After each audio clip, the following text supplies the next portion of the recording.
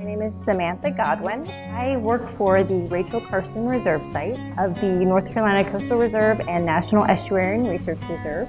My work primarily focuses on a research project in which I'm doing a long-term analysis of the effects of stabilizing structures such as bulkheads. I knew that I'd be studying at the Marine Lab uh, in the fall, and I do have a four-year-old son so one move was plenty for us. In about mid-January, I called the reserve site and I ended up getting in touch with Brandon Puckett, the research, coordinator. He told me about the bulkhead project uh, that he'd been brainstorming and I got really excited about it and I was really interested. Nicholas students, um, first and foremost, are, are very bright scholars.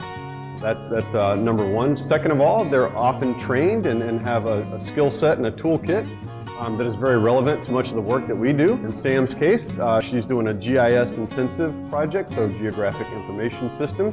Um, and she had that toolkit and skill set from her coursework with the Nicholas School. I've really enjoyed it so far. I've been able to work on a really exciting research project. I've learned a lot along the way. I've really come to know firsthand how science doesn't go as planned most of the time. Summer interns bring with them um, an eagerness to learn new things uh, fresh ideas, a willingness to do whatever needs to happen.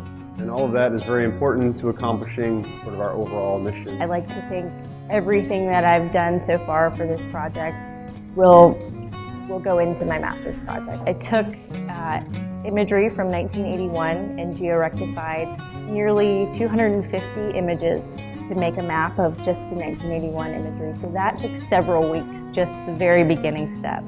Then I had to identify out of 1,700 bulkheads in Carteret County, which ones were present in 1981, which ones were landward in 1981.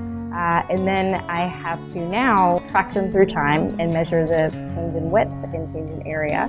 There are multiple outcomes to this project. It will be my master's project and, and it will fulfill that requirement. I would really like to publish my work. Um, I think it's really important and I really hope I can do that.